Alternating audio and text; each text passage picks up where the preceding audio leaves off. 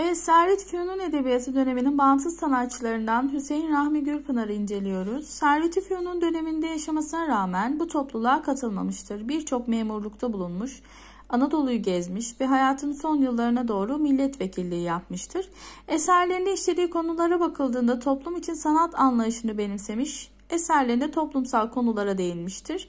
E, kahramanlarını kendi diliyle konuşturmuş. İyi bir gözlem ve deney vardır eserlerinde. Yani naturalizm etkisinde kalmıştır. Sade bir dil kullanmıştır. Edebiyatı sokağa taşıyan kişidir kendisi. Önemlidir bu bakımdan. Halka eğitmek, bilinçlendirmek düşüncesi olduğu için eserlerinde teknikten e, çok verilmek istenilen mesaja bakmıştır. Örf, adet, geleneklerine bağlı kalmış, halk söyleşilerine, konuşmalarına yer vermiştir. Edebiyatımızda ilk mektup türün romanı bu tarlakayı yazmıştır. Eserlerine baktığımız zaman Şık, Şıp Sevdi, Metres, Mürebbiye, Kuyruklu Yıldız Altında Bir İzdivaç, Rul Yabani. Bunlar nedir arkadaşlar? İffet. Bunlar romanlarıdır. Önemli romanlarıdır. Aynı şekilde Melek Salmışım Şeytanı, Gönül Ticareti, Eti Senin Kemiği Benim bunlar da öyküleridir. Önemli olan eserlerin altını çizdim arkadaşlar. Buradan bilebilirsiniz, bulabilirsiniz. Evet Şık e, romanını incelediğimiz zaman Şöhret Bey adında bir genç var. Madame Potiş ile metres hayatı yaşıyor. Fakat metresine para dayandıramadığı için annesinin elmaslarını çalar. Daha sonra Müştak Bey'e sığınır ve orada da bir hırsızlık e, olur. Ve en sonunda metresi Potiş'in gerçek yüzü ortaya çıkar ve tutuklanır. Evet olaylar bu şekilde ilerler.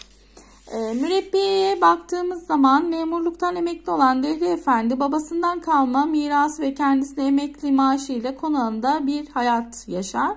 Konakta kızı, kızının iç güveysi olarak evde barınan kocası, okula giden oğlu, ilk karısının ölümünden sonra bir cariyesinden doğma iki küçük çocuğu ile birlikte yaşıyor. Tabi evlerinde aşçı, hizmetçi ve mürebbiye var. E, mürebbiye Angel'in herkesi kendisi aşık edip idare etmeye başlaması anlatılıyor. Kuyruklu Yıldız altında bir izdivaca baktığımız zaman 12 bölümden oluşan roman Defterler Galip Efendi'nin oğlu İrfan Galip'in oturduğu mahallede kuyruklu yıldız nedeniyle korku ve panik içindedir mahalleli. Kültürlü olan eğitimli İrfan Galip oturduğu mahallenin cahil insanlarla dolu olduğunu düşünür.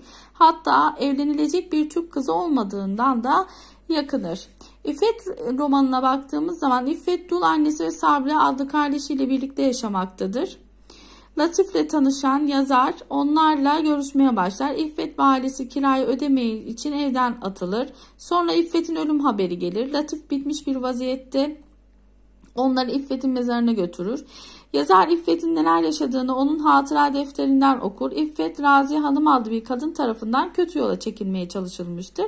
Gerçekleri farkına varan İffet Raziye Hanım'dan kurtulur ve e, onu tövbeye davet eder derken İffet e, romanın sonunda İffet annesi nişanlısı Latif'in mezarı yan yana tasvir edilir.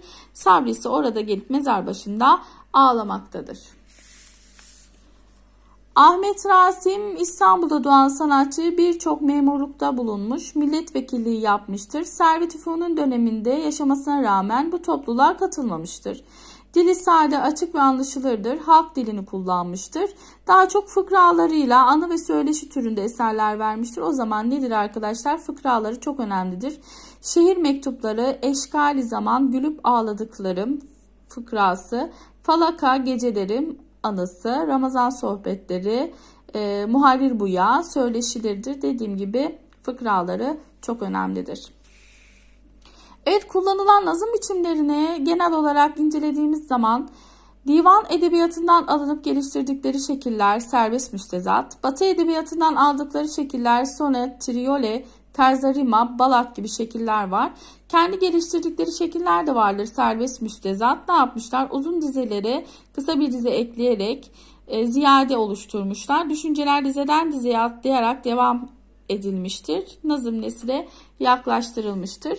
Bütün güzelliği ön plandadır. Dizeler arasında noktalama işaretleri kullanılır. Serbest müstezat, serbest nazıma geçiş sağlamıştır. E, Sona'ya baktığımız zaman kısa şiir türkü anlamına gelen Sona'nın ilk çıkış yeri İtalya'dır. 2 dörtlük, 2 üçlük olmak üzere 4 bent ve toplam 14 dizeden oluşur. Batıdan olduğu gibi almamışlar. Uyak düzenini Servet Fünuncular ne yapmışlar? Kendilerine göre geliştirmişler. Terzarima ya baktığımız zaman örüşük uyak da deniliyor. Üçlüklerle yazılır. Üçlük sayısı sınırlı değildir. Tek bir dize bir ile bitirilir. E, Dante'nin İlahi Komedyası bu biçimde yazılmıştır. Tevfik Fikret Şehrayi şiirinde bu nazım biçimiyle yazmıştır. Triola'ya baktığım zaman 10 mısralı nazım şeklidir. Balat ise 3 bent ve 1 e, ağırlama dizesinden oluşur. Günümüzde halk şarkıları anlamına gelmektedir. İyi çalışmalar arkadaşlar.